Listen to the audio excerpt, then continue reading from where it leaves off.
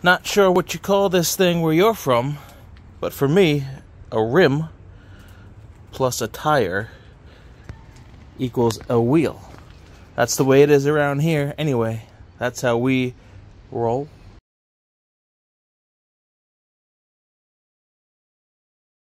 Hey, what's up guys? I'm Dan H and welcome to the project. So I got a lot of stuff piling up, especially over the winter where I don't really want to go outside and do anything, especially clean up.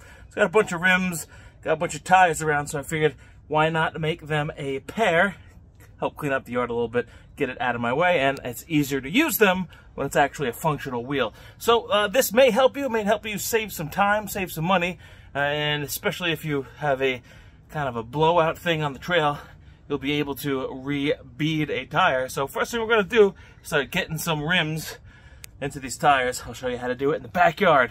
All right, let's do it. All right, guys, before we dig in, supplies you'll need, Home Depot bucket, or whatever bucket, as long as it's a five gallon, that'll do the trick. And we got some starter fluid. Now, I've used a bunch of explosives, and I find the best way to do this is using a little bit of ether, and you can get that from starter fluid. Of course, means of fire, and you're gonna want some Dan H soapy water, my patented formula. Just kidding, it's just Dawn. Ooh, Dawn with a smear of anti-seize. Dawn and some water. So that's what we're gonna use. See, I told you crap's been piling up. we're gonna use these Yokohama Geolandars. Hey, look, they got some water in it. No biggie, this is what we're gonna do. Just gonna try to bang the water out as best as possible with some impact onto the ground. And then, when you get most of it out, the trick that gets the rest of the stuff out is tilt it up a little bit and then just push back and forth. Look at that. All that water converges on the recoil and shoots right out the lip. That remaining moisture, we're just gonna get out with a little towel. But look at that, basically dry. All right, let's get this to where we need to work on it. All right, grab some old shop cloth and wipe out the remaining puddle in here. Now, we're not gonna get it completely 100% dry. That's okay. There we go. It's mostly dry. It doesn't need to be completely dry because we're gonna be spraying it down with the soapy water. So we're gonna get this nice and sudsy on the rim.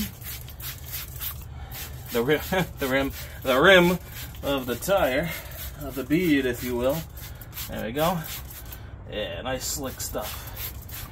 All right. Now we got our rim. We're gonna spray this around the lips with some soapy water. Soak on both lips. Now you could choose your white wall or your black wall. We're gonna go with the, let's do the white wall in. I wanna display the black part. All right. Now we're gonna be mindful of this sensor right here. Gonna wanna make sure the tight part is not on there. So I guess I'll start with the sensor in a loose spot. Just gonna push all around. You'll see the tire edge start to slide around. There we go, just like that. All right, half the battle is over. Now we gotta get this part around the inside of the rim. All right, now we will call upon the power of the bucket.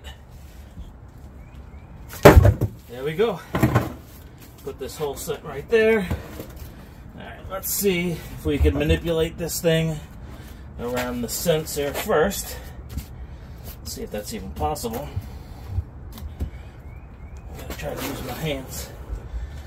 Push it around, there we go. And obviously, guys, this is a 17 inch diameter tire. It's going on a 17 inch diameter rim. And uh, you're gonna wanna make sure you get that matching. Um, I hope that goes without saying. We don't want to cram 18 inch rims into a 16 inch tire and vice versa. A big tire will definitely not fit on a small rim. At least not in your backyard anyway. Alright, so I'm to try to get this thing started at one spot and then the two beads will diverge as we work ourselves around the circumference and hopefully they will reconverge uh, at the apex. Alright, going in for some soapies, need a little more. Gonna push it in with my knee a little bit. That might help. There we go. This is the part where you might need some foot action.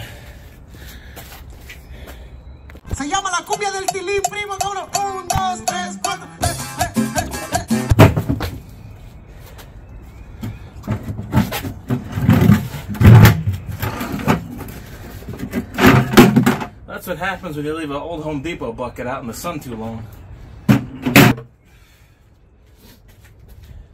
Here's my second option.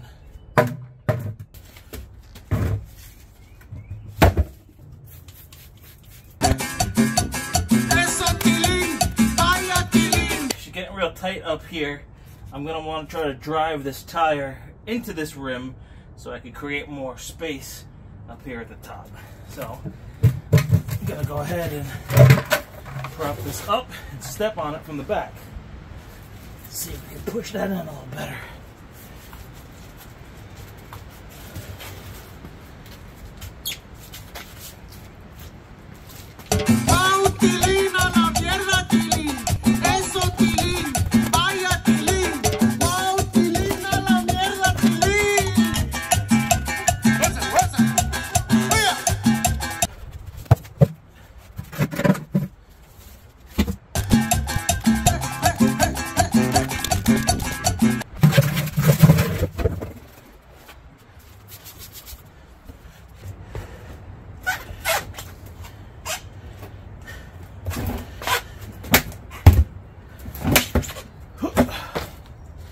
There we go. She's on.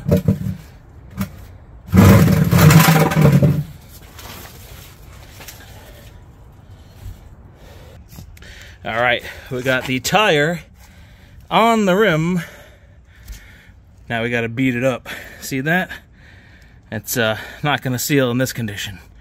So we're to have to do a little trick. Just to clean it up a little bit because I stomped all over this sucker and she's filthy.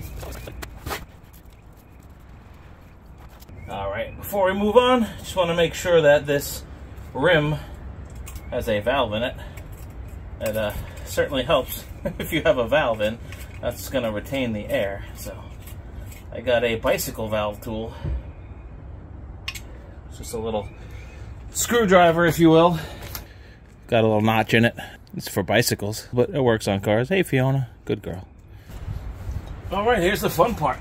Gonna want to give a two to three second burst under the tire into the rim. We're gonna fill this stuff with flammable fluids, and we're gonna leave a trail so we could ignite it and run safely. So here we go. One, two, three.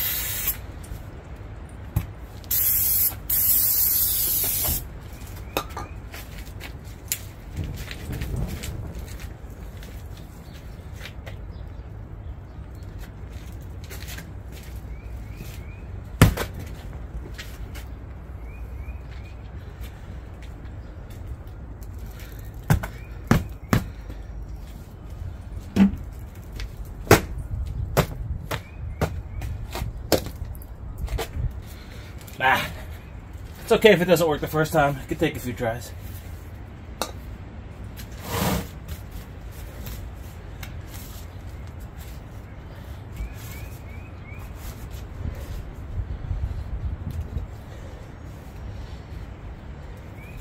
All right, take two.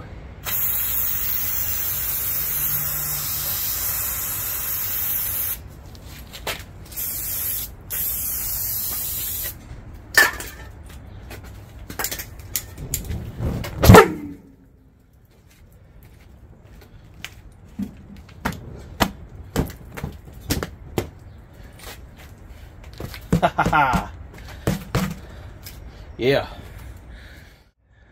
Well, there you have it. We got the tire on the rim. It is now a complete wheel. All right. It's probably about four pounds of pressure in here from the explosion. And now we're gonna fill this baby up to about 40 PSI.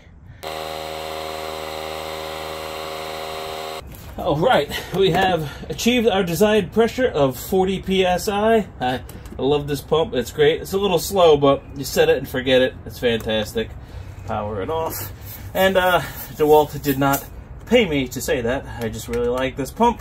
And if you want to, sponsor me, DeWalt, please. I love your tools. Capping this bad boy up. And uh, yeah, we did it. She's ready to go. Go clean this baby up and store her away.